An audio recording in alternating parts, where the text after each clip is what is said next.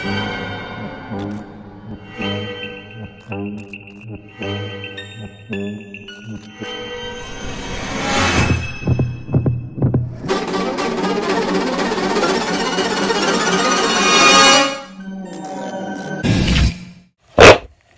everybody, what is up? It's Boleyn back once again with another video for you. Happy Tuesday. Hi, how are you doing?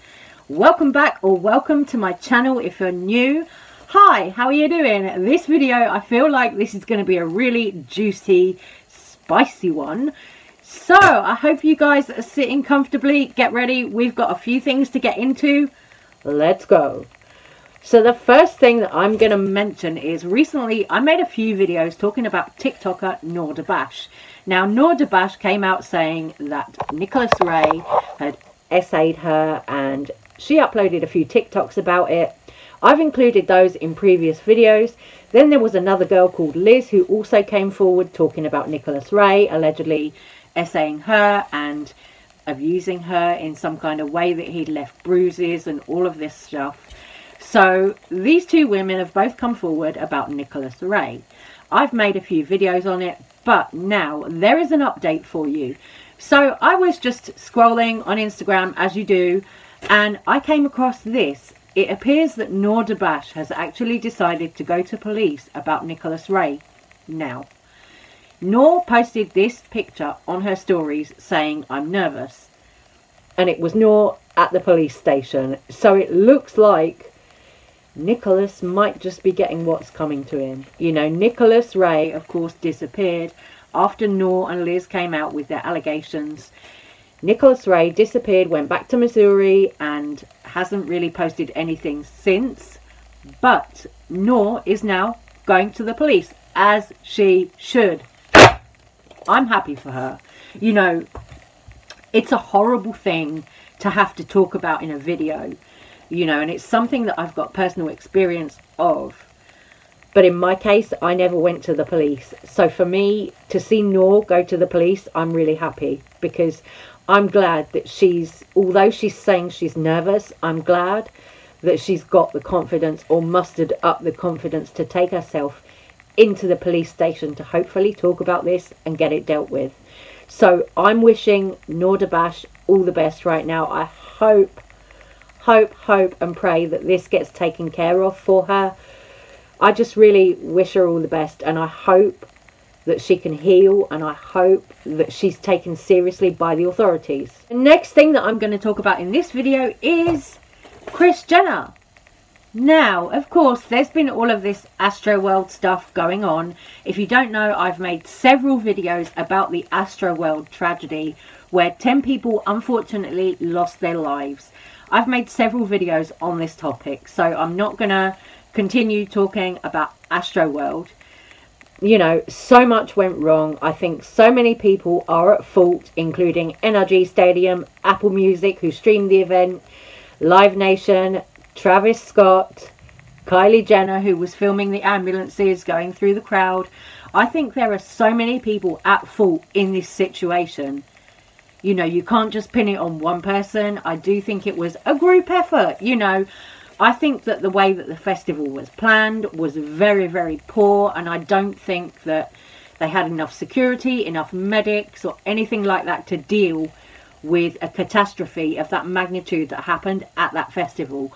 I really don't think that they were prepared at all, at all, for what happened.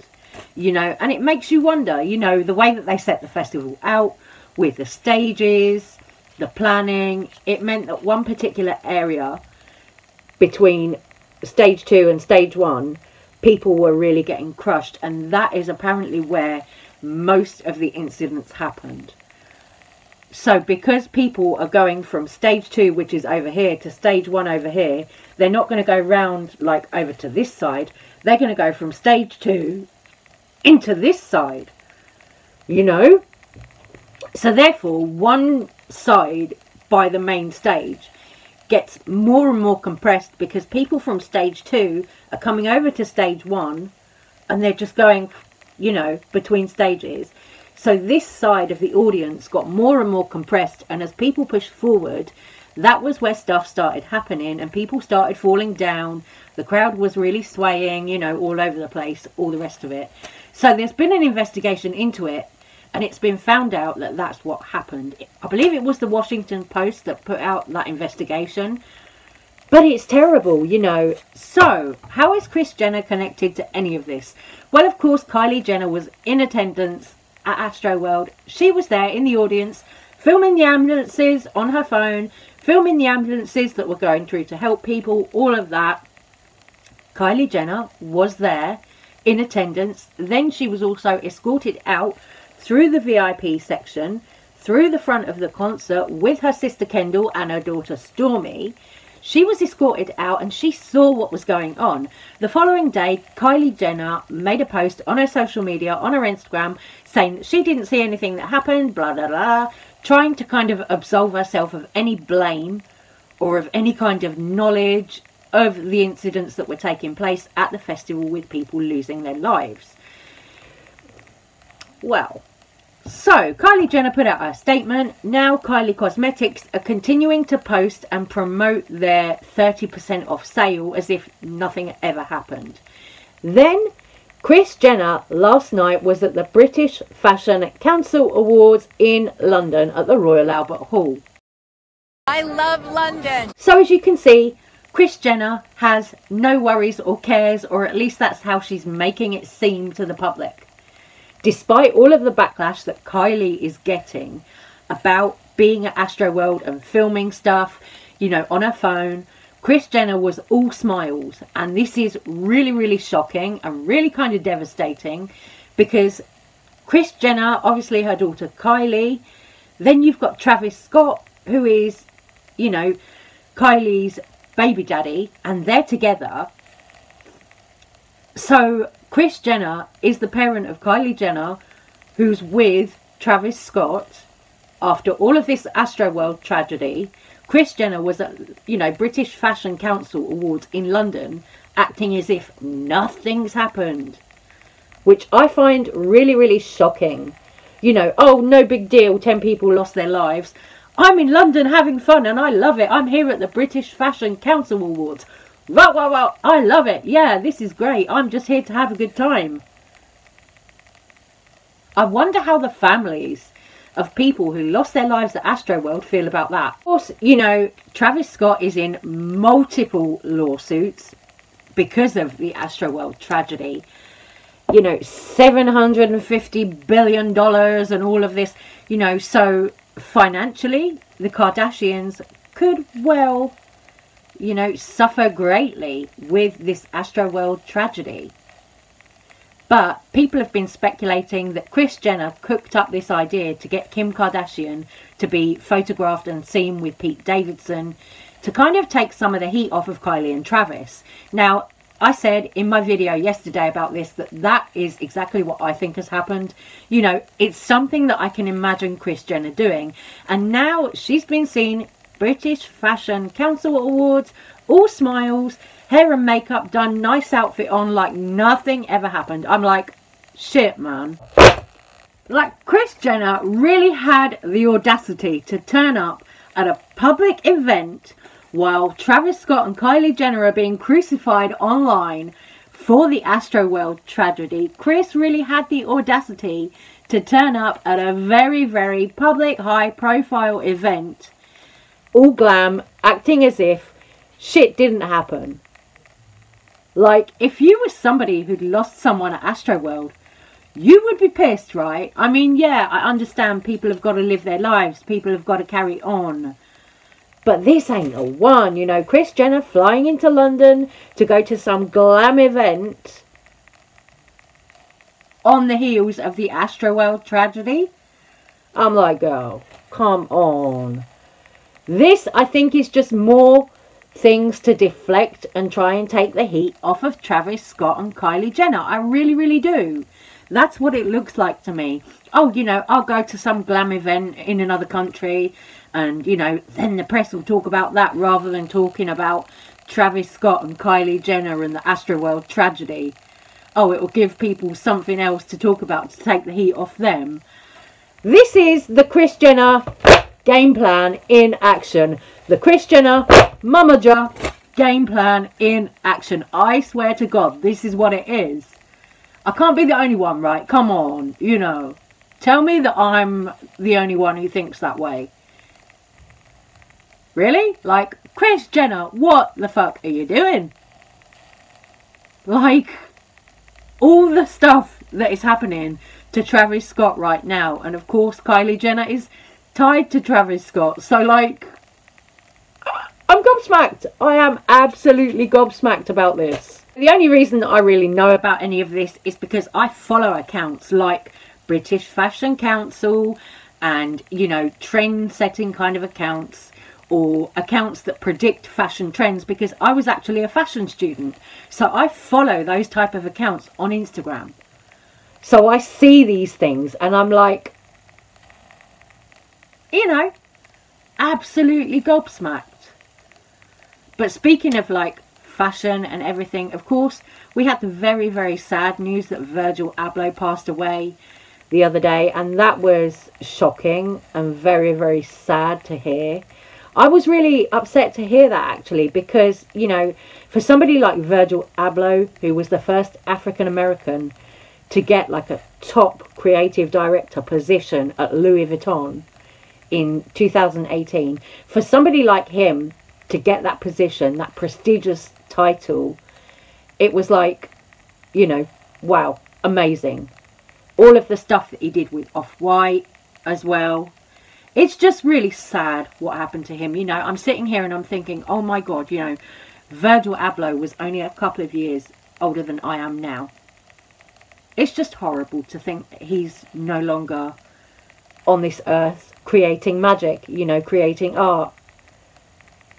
I just really find that very sad, you know, but I'm somebody who loves the fashion world, you know. I went to uni for it. It was the proudest achievement of my life getting my fashion degree.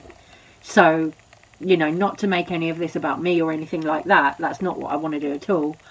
But as a creative person who has longed to be in the fashion industry, I can appreciate other creative people in the industry and even though I might never buy anything, you know, Louis Vuitton or whatever, I can always appreciate other creatives for the work that they do. And I just found it all really sad about Virgil Abloh. I was so sad about it. It was just really, really sad to hear. Really genuinely very sad to hear. You know, Virgil Abloh and what he did will have been an inspiration to a new generation of people who want to get into the fashion industry. You know, he changed things, he revolutionized things. Like, there was a clip that I saw where he was organizing one of his shows and he said to one of these models, Okay, well, I want you to do something completely different to the whole model thing. I don't just want you to come out and walk. You know, this setting is supposed to be like a New York street. So I want you to come out and just move, be free, do your thing, you know. So then this model came out on the catwalk doing backflips and stuff. I'll pop the clip in if I can find it. But like things like that, you know, changing the face of luxury fashion as people know it. To change the face of a brand like Louis Vuitton, you know, that is no small feat. No small feat at all, you know. So I just really am sad to hear about the loss of Virgil Abloh. And honestly, you know, being somebody, like I said, who went to fashion school, it's like for me, there are people in the fashion industry that I look up to, you know, designers. There are people that I really look up to. There are people that I really like their work because I think what they do is new and innovative. There are people like Matty Bovan. Matty Bovan is like my favourite, favourite designer. Matty Bovan, if you don't know, he's a British designer. Um, he kind of basically works from his home studio in Somerset, I think it is. And he creates all of this amazing designs with knitwear. He's somebody who I really didn't know that much about until I went to uni for fashion and I was working on my own projects and I was doing my knitwear samples at the time and my tutor looked at my knitwear samples and said, you know what, I think you'd really like Matty Bovan's work. You should check him out. So from then, that led to me, you know, looking at Matty Bovan's work, looking at all of his fabulous kind of deconstructed knitwear and everything that he does. And I was like, wow, you know, this guy is amazing. This person, this designer is amazing. And I just really vibe with it. So Matty Bovan is actually somebody who did an internship with Louis Vuitton in Paris as well. And he won that on some kind of scholarship. He won some prize from the fashion industry to get to go and do that scholarship. So it's amazing for a young British designer to achieve what Matty Bovan has achieved. You know, it's incredible. People like that really inspire me, and that's why I was sad to hear of Virgil's passing. Because for somebody like me, you know, or any other fashion student or kid who wants to get into the fashion industry, we look up to people like Virgil Abloh, you know, so it's just very sad and very shocking when you hear that a wonderful creative mind has passed on. I'm actually doing some hand knitting at the moment at home myself. This is going to be a scarf, so I'm just playing with some nice colourful and textured yarns to make a really loud, crazy winter scarf for myself. So that is me for this little video. That is it for this one. I'm going to say take care, stay safe, stay well. I love you guys. Thank you so much for watching. Please let me know all your thoughts about all the drama in this video. And I will see you on the next one. Take care. Love you guys.